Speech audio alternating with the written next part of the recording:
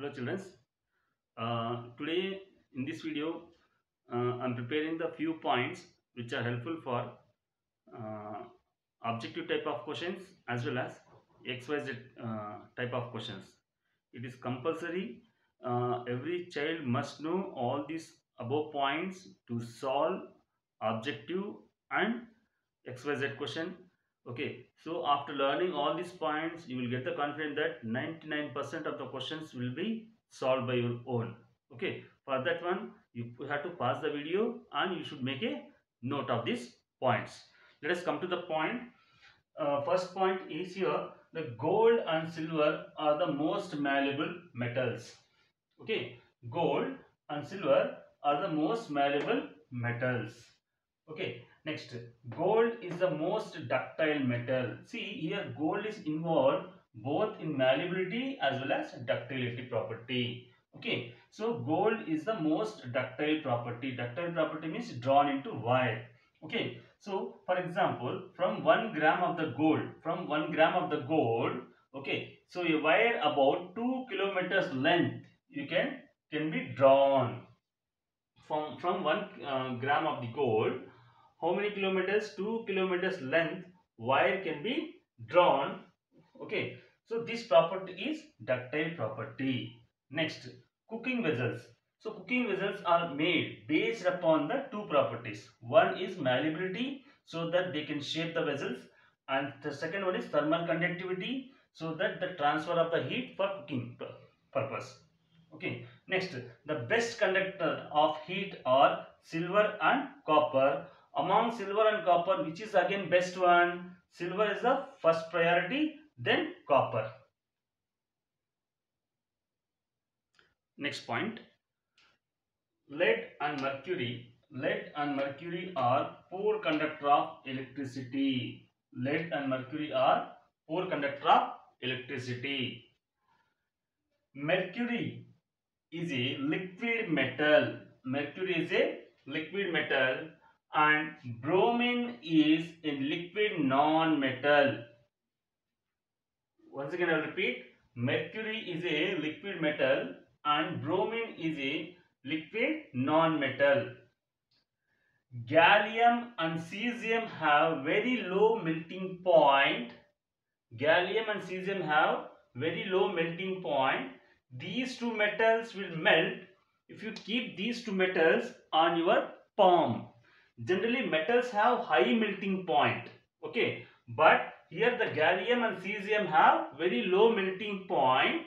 When you keep these two metals on your palm they start melting because their melting point is lower than your body temperature. Next iodine is a non-metal. Iodine is a non-metal but it shows lustrous property. Okay lustrous properties generally shown by metals. Okay, so iodine is a lustrous non-metal. Next point, diamond is the hottest natural substance and diamond has very high melting point and boiling point. Basically, metals have high melting point and boiling point. But here, the diamond shows very high, very high melting point and boiling point. It indicates that diamond is a non-metal. It is allotropic form of carbon, okay, which is a naturally hardest substance, okay, and shows very high melting point and boiling point. This property having similarity with metals. Next, graphite. So, graphite is a good conductor of electricity. So, graphite also one of the allotropic form of carbon so diamond and graphite both are allotropic form of the carbon. Okay. But among these two, graphite is a good conductor of electricity. Okay. So why graphite is good conductor of electricity? Because availability of free electrons in the graphite. Whereas diamond is not good conductor of electricity but graphite is a good conductor of electricity. In graphite, electron free electrons are available. Next point, so alkali metals. Alkali metals example lithium, sodium, potassium are so soft. These are soft metals that they can cut with the help of knife. These are soft metals.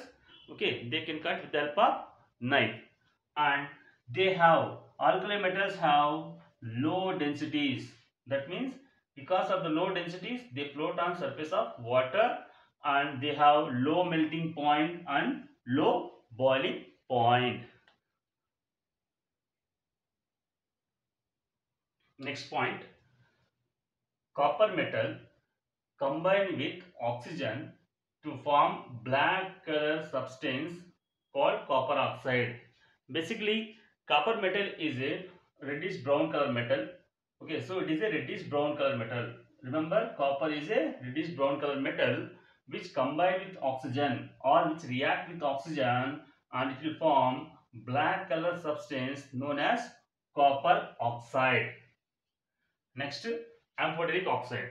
So amphoteric oxide means the metal oxides which reacts with both acids as well as base to produce salt and water are known as metal uh, amphoteric oxides. Amphoteric oxides are metal oxides which reacts with both acids as well as bases to produce salt and water are known as amphoteric oxides. Example aluminum oxide Al2O3 and zinc oxide ZnO. Next point. The soluble metal oxides are known as alkalis. Alkalis are soluble metal oxides and even soluble metal hydroxide also. Next. Potassium, sodium metals are kept immersed in kerosene oil or paraffin wax because they react vigorously with atmospheric oxygen or atmospheric moisture to form metal oxides and metal hydroxide and even it catches fire. So the potassium and sodium metals are active metals so they immerse inside the kerosene or paraffin wax bottle. Next point. Silver and gold do not react with oxygen even at high temperature. Okay so they are called as noble metals. Okay so silver and gold do not react with oxygen at room temperature also and even at high temperature also. They are non-reactive.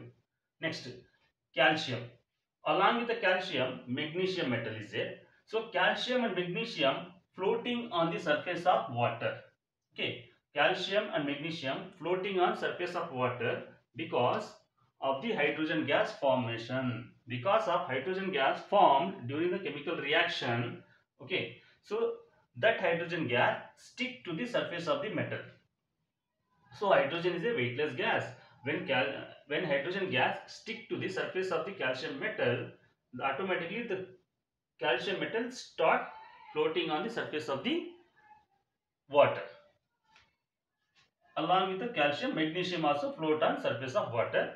When you compare calcium and magnesium calcium float fast compared with magnesium because release of more amount of hydrogen gas during calcium react with cold water potassium sodium calcium these three metals. First three metals in the reactivity series react with cold water. Next among the in a reactivity series only magnesium react with hot water. In the reactivity series only magnesium react with hot water. Aluminum zinc and iron react with steam. Aluminum zinc and iron react with steam next point metals such as lead copper silver and gold metals such as lead, copper, silver and gold, they do not react with water. Metals such as lead, copper, silver and gold do not react with water. Next point. So hydrogen gas is not evolved. Evolve means release. Hydrogen gas is not evolved when a metal react with nitric acid because nitric acid is a strong oxidizing agent. Generally metals react with acids, metals react with acids and releases hydrogen gas. But whereas in case of nitric acid, hydrogen gas is not released because nitric acid is a strong oxidizing agent. Then which metals react with the, this strong oxidizing agent or nitric acid? Magnesium and manganese are the two metals which react with very very dilute nitric acid. Magnesium and manganese react with very dilute acids to evolve hydrogen gas. Copper does not react with dilute HCl. All metals react with HCl but copper does not re react with dilute HCl so that when dilute HCl added on the surface of the copper metal, copper metal do not release hydrogen gas. Okay, so in this one the last two points are very very important. So uh, point number 20, 21 and 23 definitely one or other case it may be in objective oriented questions or it may be a xyz model questions. Okay so indirectly uh, one question they will frame. Okay so this is a summary of chapters till reactivity series. Okay and these points are helpful to solve objective oriented questions as well as xyz questions. Okay before you are going to attempt any kind of objective oriented or uh, XYZ or PYQ type of questions, make a summary of these points, note these points, revise two, three times, then you try to attempt, you feel very easy and within a fraction of minutes or seconds, you are able to solve all the questions. Okay, thank you.